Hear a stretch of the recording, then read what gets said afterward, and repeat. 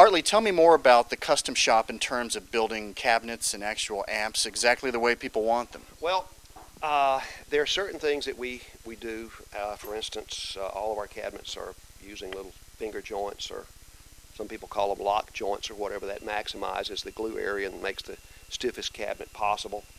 Uh, right now, somebody wanted a an all ma mahogany cabinet, and this is mahogany. Even the baffle board, the speaker board, is a solid piece of mahogany.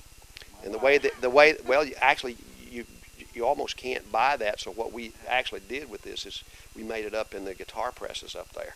So I mean, if you go to a uh, if you go to a wood yard and say, look, I want a piece of solid uh, half-inch mahogany to make a baffle board out of, forget it. You can't get it. So every one of these are different. These represent every single every single one of these has a different voice built for a, a different customer. And it's kind of designed in that vein, not exactly like Dumbles because there's there's so few of them out there. You don't get to look in them, but we shot for that sound using our ears. So this is this is what we got.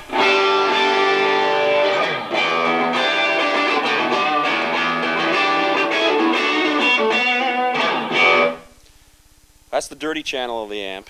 And this amp is a two channel amp, but it's built in a cascading fashion. So it means if we start here in the clean channel, Tony give us a little bit of that.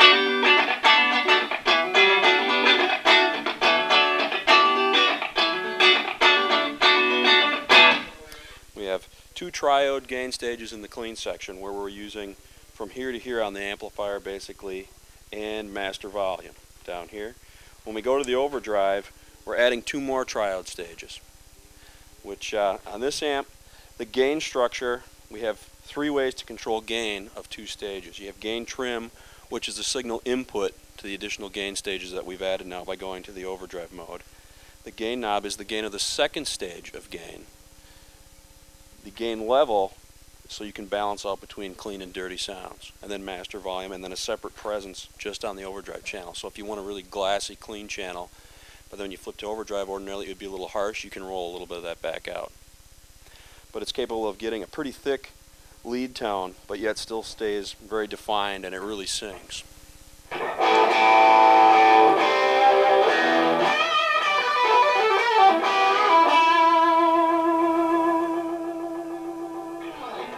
Lots of good punch, real thick, viscous sound. It doesn't mush out at all just so everybody knows, on the signal chain here for the demo, we've got a 57. And tell me about this guitar. This is a custom shop guitar Omniac with a maple top. We got the pickup screwed right to the body, Seymour Duncan's, um, rosewood fretboard, 25 and a half inch scale. Very cool guitar, very straightforward, very traditional, but with modern flexibility to it, so I can actually get around a little bit easier on it.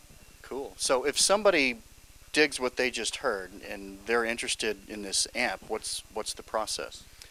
The process is they, they could look and say, okay, hey, I saw this 50L6D. How do I get one? And we say, well, okay, do you want one just like that? This one here is a little bit customized, being that it has a custom Tolex job, and that'll be from a menu when you order it. And there's an upcharge for that. Black, of course, would be the standard color. Or we could go as far as somebody say, hey, I want that, but in 100 watts. Well, we can do it.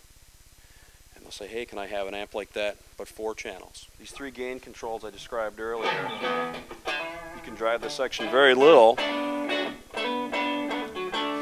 and get more of a cleaner, almost like a, a clean amp pushed type of sound. But notice it's not out of your splitting levels, so you can get that at any volume you want. This clean volume is also still affecting gain of the overdrive section, so you can use that. Now it's more of like a loose, like a tweed era type sound. Or you can do it the other way.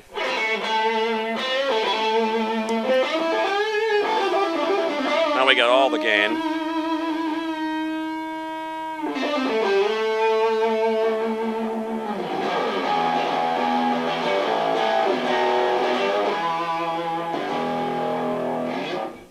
Very thick sounding.